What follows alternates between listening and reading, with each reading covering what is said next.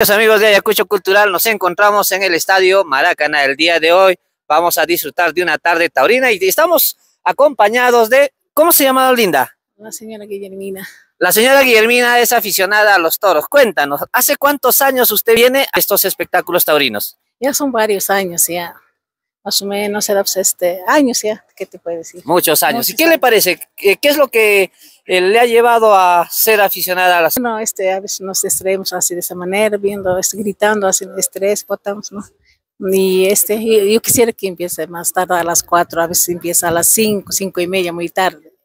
Y a veces de noche ya se puede ver los toros bien. Efectivamente. Este año, ¿a cuántas corridas ha asistido? He ido a Santana, después a Señor Quino Pata, después a Concho Pata, a Pacaicasa, después ayer fui a este a Villa Militar.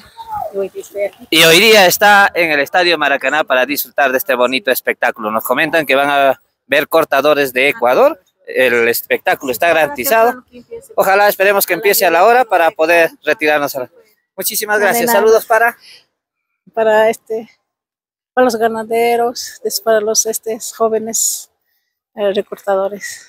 Muchísimas gracias, señora Guillermina. Bien, entonces así estamos en el Estadio Maracaná y los invitamos a que puedan apersonarse a disfrutar de esta tarde taurina.